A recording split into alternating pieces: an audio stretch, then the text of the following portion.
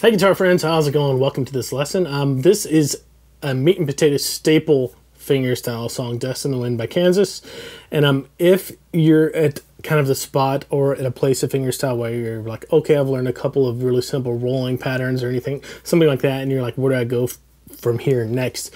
This type of song or this song in particular is something that is really, really good for you to learn because it kind of gets you into that alternating bass thing that deal with having a pattern on top too. So it's a really good kind of intermediate song. I have the tabs for you. We'll start off by learning all of the chord shapes really quickly, just so you make sure that you have all those down. Before we get into it though, make sure to subscribe and hit the bell notification so you know when new videos come out on our channel and let us know in the comments below which uh, songs you would like to see as far as cover songs also if you have not gone to guitar fam and created your complimentary account go there do that doesn't cost anything and you'll be have access to a lot of really cool courses to get the basics down. And if you need any extra help you can always book a private personal one-on-one lesson with me. The first one is complimentary so there's no risk or anything. So let's get into this. Oh one more thing. If you want to see the full performance of the song just skip to the end of the video. It'll be there with the sheet music and everything laid out underneath so you can follow along.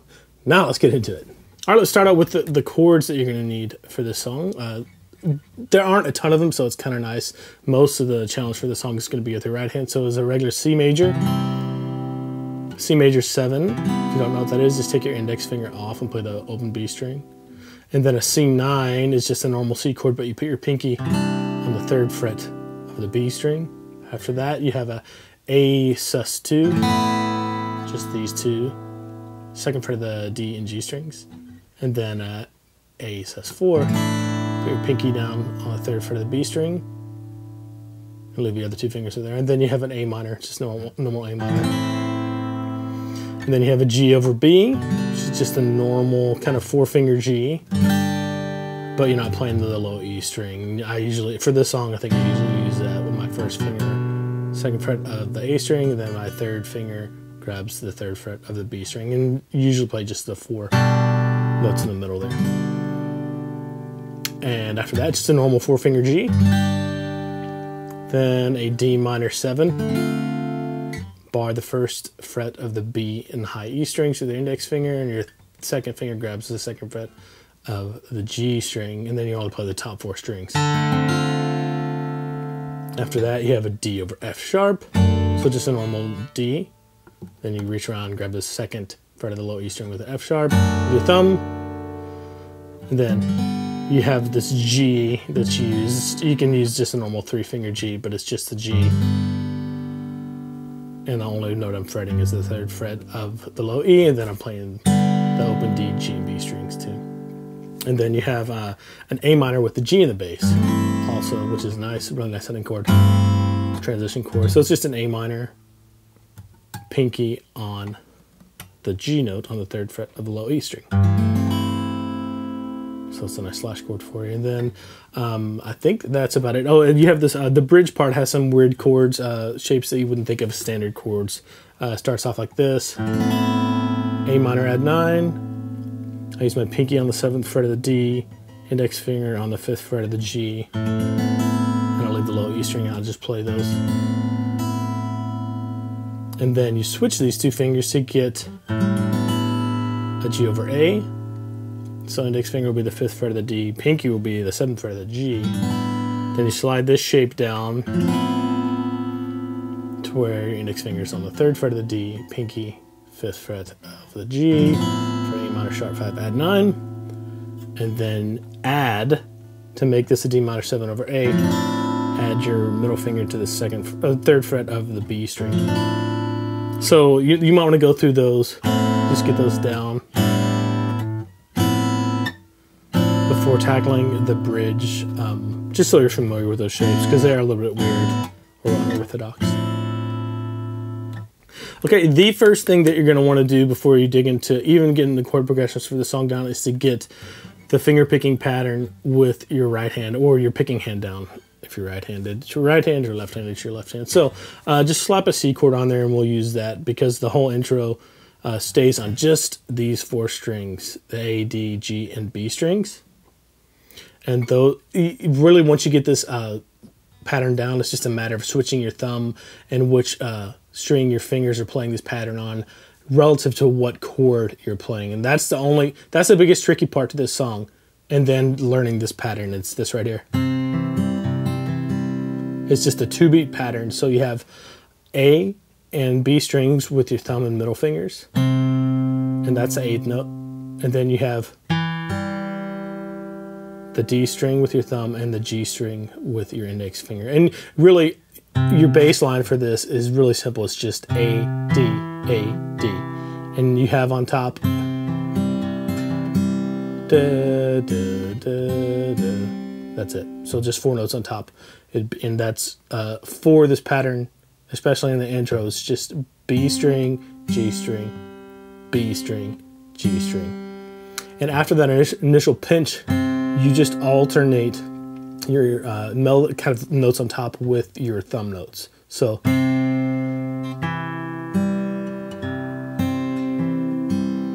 So it means so pinch, thumb, index, thumb, middle, thumb, index. And for this one, your middle finger is always getting the B string, and your index finger is always getting the G string, and your thumb is just bouncing forth between the A and D string. So you have to get that down first. And if you need to slow that down super slow, that's what I would recommend. But until you can do that over and over again and just loop it slow, don't even worry about the rest of the song, I would say. Just get it down to where you can play it once and then stop and then do it again. And the tricky part about this is as soon as you hit that last index finger, you have to start right over on beat three. So one, three. So you're just looping it over and over again. Dun, dun.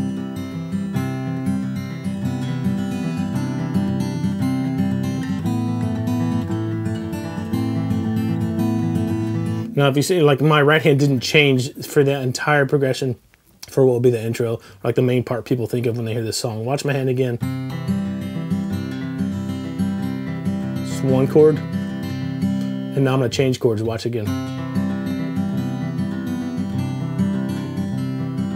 It's no different. The only thing that's changing is I'm cycling through chords here, and it's a cycle of four chords for each, uh, what I would consider each phrase. The first phrase is just C for two beats, C major seven for two beats, C add nine, pinky down for two beats, and then C, regular C for two beats. So if you just go through that, remember the only thing that's changing is, is uh, the melody on top. So C, C major seven, C add nine, C, and that's all you're doing is sticking that with the pattern.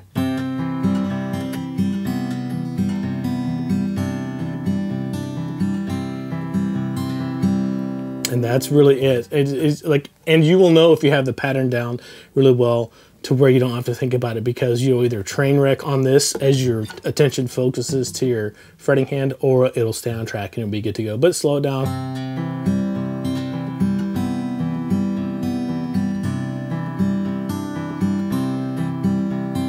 And even slower than that if you need to. However slow it takes you to not make mistakes. And I should say, I should mention that I'm using classical technique. I'm floating my hand, but you don't have to do that. You can plant your palm. I can't do that just because of the way I learned it. That feels weird to me, but you can plant your pinky.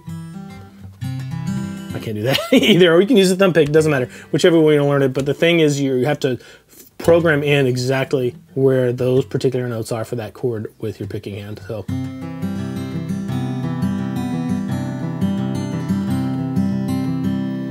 And once you have that down, the second phrase you need to learn for the intro is switch to an A sus2. And it's the exact same pattern for your right hand. Nothing at all changes for your right hand. The chords for the next phrase are just A sus2, A sus4, A minor, and then A sus2 again. Okay? So just put your pattern to that A sus2, A sus4, A minor, then A sus2.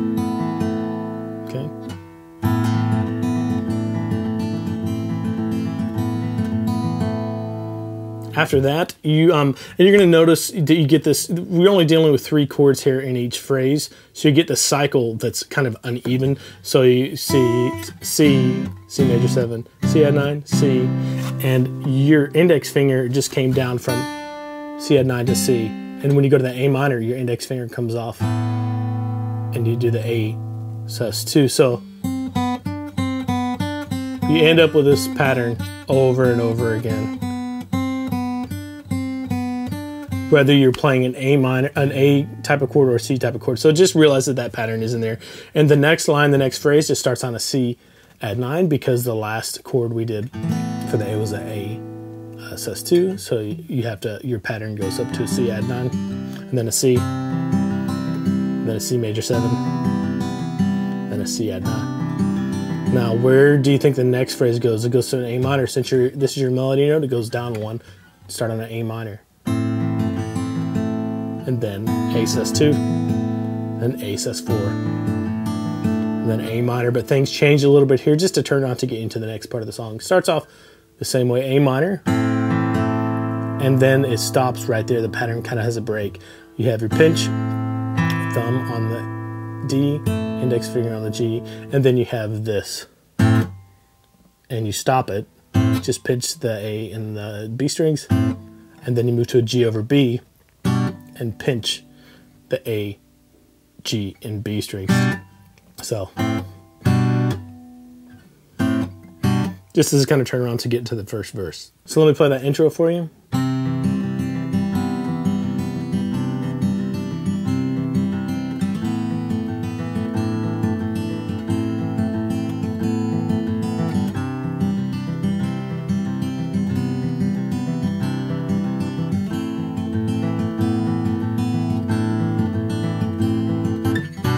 That's it. That's what leads you into the first verse. And a lot of this is really repetitive, so if it seems long, just realize that you're going to be using everything we learned later in the song too, so you get to kind of double up on it, which is cool. Okay, the first chord of verse one is just a C, and nothing changes with your uh, picking hand, stays the exact same. So just play your pattern once, and then go to a G over B and play the exact same pattern. Nothing changes for your picking hand. And now here, the next chord is an A minor for one full measure, but the, the melody the pinch, moves from the B string to the high E string, so you have to compensate for that. Thumb still stays exactly where it is, so. So.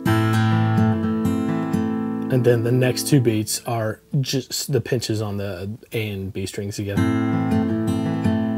So those two measures. Then expand the pinch, then bring it back.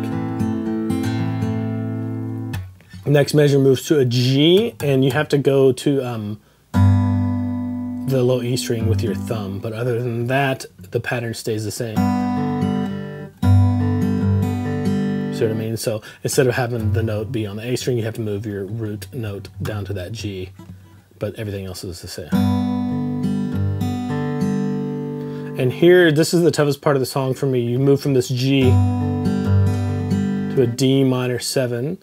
The pattern stays the same, but the your your fingers completely change what strings they're on. Your middle finger moves to the high E, and your index finger moves to the B string. Thumb bounces back and forth between the D and G string. So, and instead of having that last note with your index finger this time on this D minor seven, you just have your thumb there, and it's a, it's a eighth note instead of a 16th note. So, so this uh, measure from the G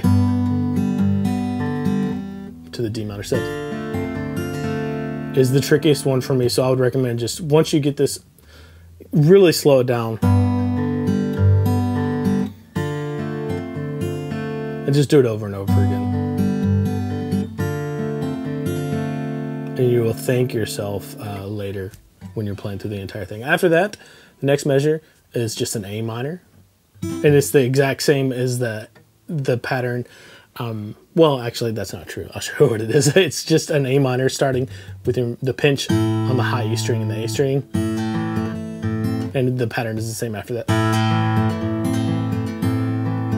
And once you get there, through beat three, you have the on beat four again, so four and, and then you move to a C, and it kind of um, the the same pattern applies here. You start over on the C, and we kind of restate that phrase. So C, just like the beginning of the verse, G over B. A, where you expand the pinch. Then to a G, same thing. D minor seven, again, and then A minor. Uh, sorry, yeah, just an A minor. But this time when you hit the A minor, uh, on beats three and four on the and of sorry the and of four, you just have a eighth note instead of a sixteenth note. So um, let me play that for you, verse two all the way up to this point, and that'll get us to the next phrase. Um, here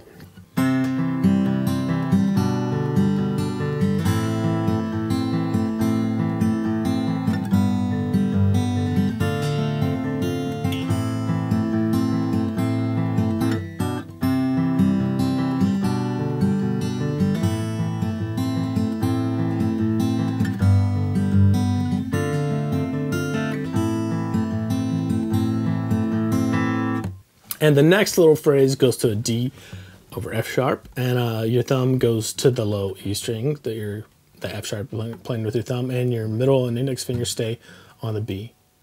And uh, G strings, your thumb's bouncing back and forth between the low E and D strings though, this time for this D over F sharp. So same exact pattern though. Then move to a G.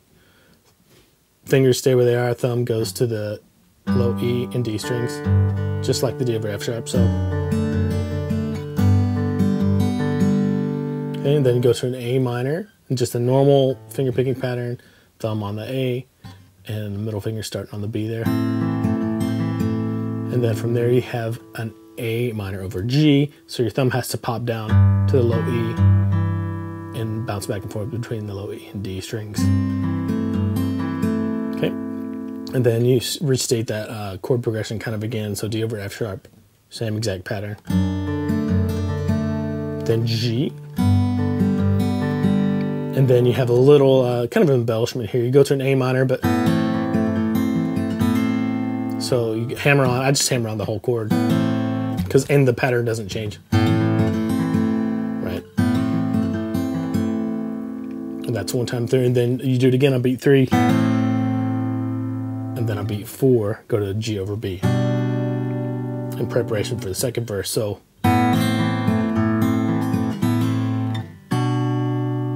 So let me play that last uh, phrase of the verse before we starting on the D over F sharp.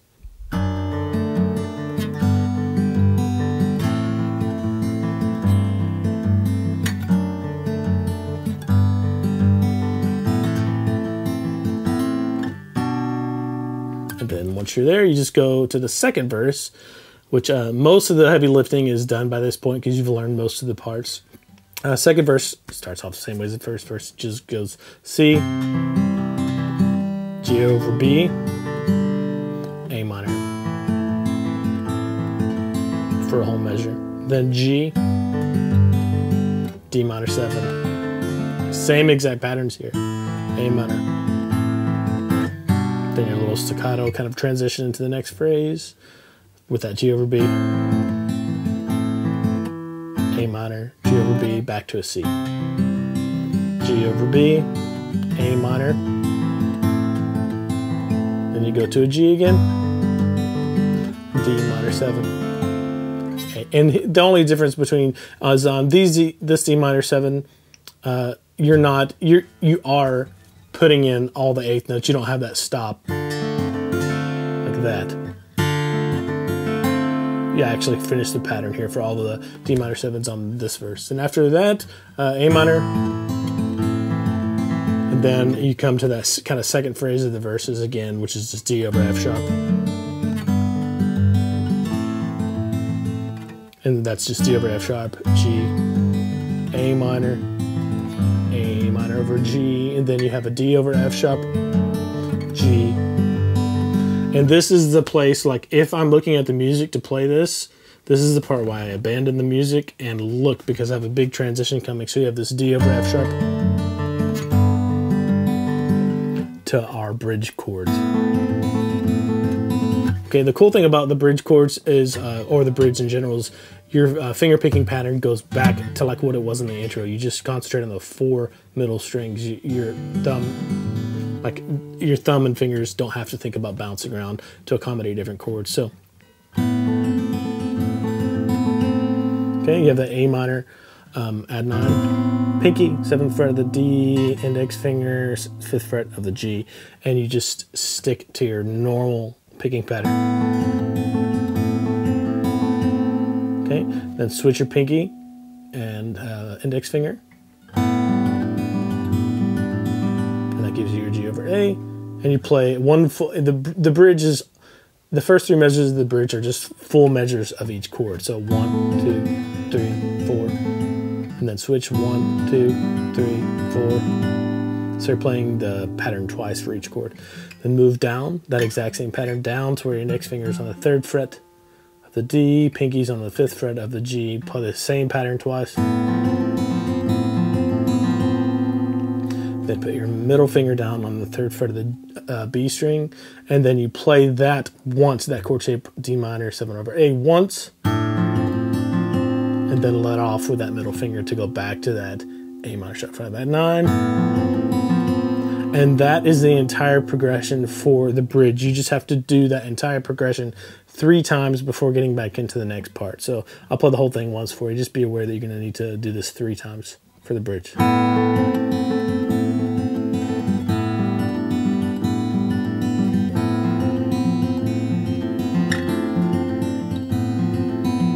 And be careful here because it's really easy to do this.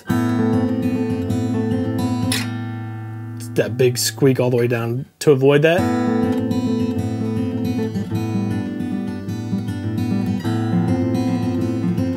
Just lift up a little bit. Just enough to clear the strings.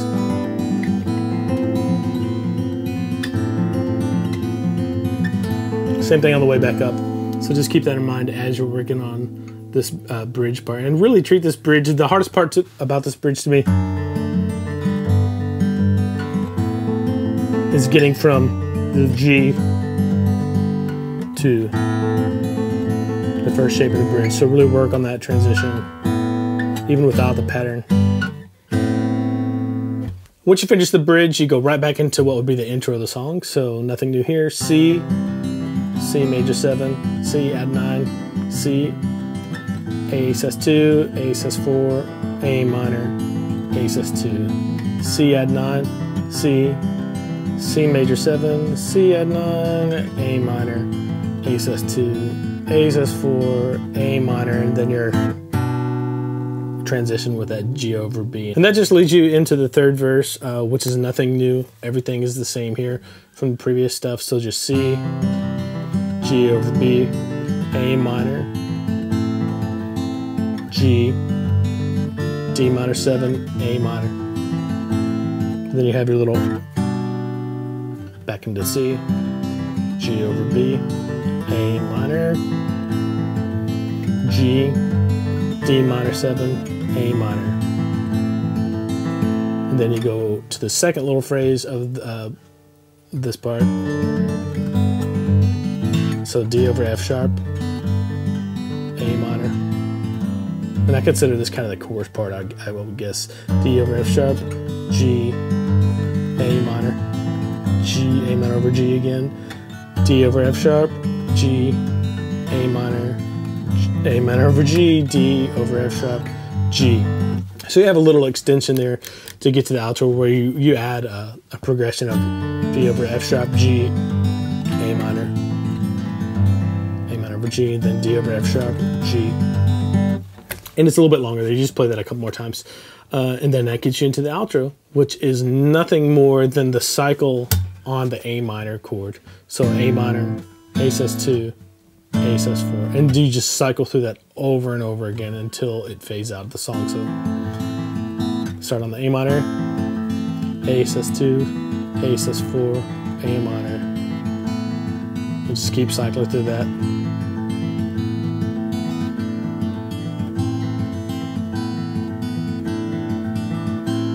The few things that I would say the steps, kind of a progression of getting through this song are number one, learn the chords. If you can't go to the chords on their own, first, you're gonna have a really hard time getting through it. So make sure you know all the chord shapes to where you can go right to them, no problem. Second thing is to work on getting this pattern down. Because this is really the master accompaniment pattern for like alternating bass on guitar. If you can play this, you're gonna your coordination is gonna go up, your abilities are gonna go up, and it's really important to get that down. So take that, even if it's out of time at first.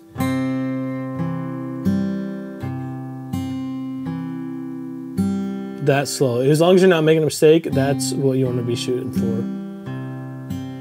And starting to gain control over some independence for your fingers. And then eventually speed it up. If it takes you a week, great. If it takes you three months, that's great too because you're building a really important skill for fingerstyle guitar. After that, it's just a matter of working through each chord progression in each section, making sure um, your fingers are hitting the right notes on top for each different chord and the right notes on bottom when your thumb has to switch. Like when you're playing a G, your thumb switches to the low E and the D string. So getting control over that and then just putting each individual section together, getting it down really slowly, and then putting the whole thing, stitching the whole thing together. All right, that's it. Um, like I said at the beginning of this video, this is kind of a, a certification or a rite of passage to consider yourself what I would say an intermediate fingerstyle player, and it's really a gateway once you get the song down to be able to move on to more non-pattern based things or things that are um, pattern based with your thumb but having more melodies on top like Deep River Blues, Windy and Warm, and then onto things like Classical Gas that you really need these kind of core skills and control of your thumb and fingers to be able to play. So really dig into it. If you have any trouble with it, email us support at guitarfam.com or just leave a comment here wherever you're watching this video. And if you really need some extra help, go to guitarfam.com, create your complimentary account, and book that first personal private one-on-one lesson with me. The first one is complimentary, so there's no risk. I'll be looking forward to meeting you. Let us know what songs you want to learn next in the comments below too. See it.